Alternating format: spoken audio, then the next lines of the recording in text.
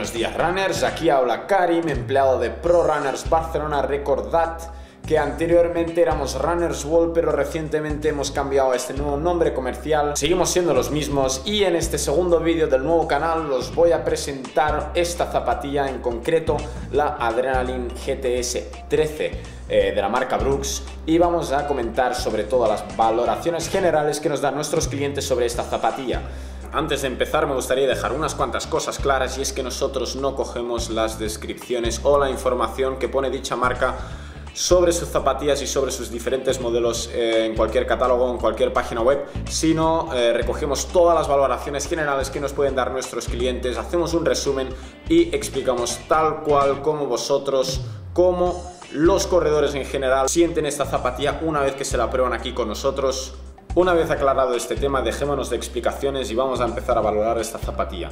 La Adrenaline GTS principalmente es una zapatilla que puede soportar pesos de entre 60 hasta 75 kilos. Podríamos aumentar hasta 80 kilos, pero realmente es el límite que puede aguantar esta zapatilla. Una vez que sobrepasas 80 kilos de peso ya recomendaríamos otro tipo de zapatilla con un poco más de amortiguación. Otro aspecto que tienes que tener en cuenta para poder llevar la Adrenaline GTS es que tienes que tener una pronación moderada o una pronación avanzada, debido a que tiene uno de los mejores controles de pronación que existen actualmente en el mercado. Si nos fijamos bien, el control de pronación de la Adrenaline incorpora dos densidades diferentes. La densidad dura que está generalmente en el arco plantar de la zapatilla y la densidad un poco más suave que está más en el talón.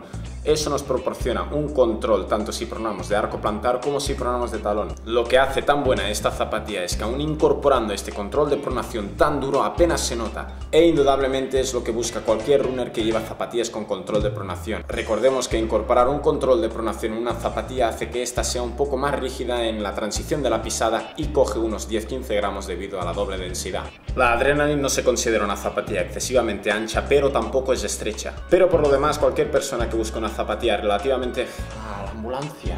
Pero por todo lo demás, cualquier persona que busque una zapatilla relativamente ancha de la parte de delante y quizá bastante recogida por el talón, esta es una zapatilla que se adaptará a todos sus gustos. No vamos a entrar en más detalles, hemos hablado sobre los principales aspectos que incluye la Adrenaline GTS 13 de Brooks.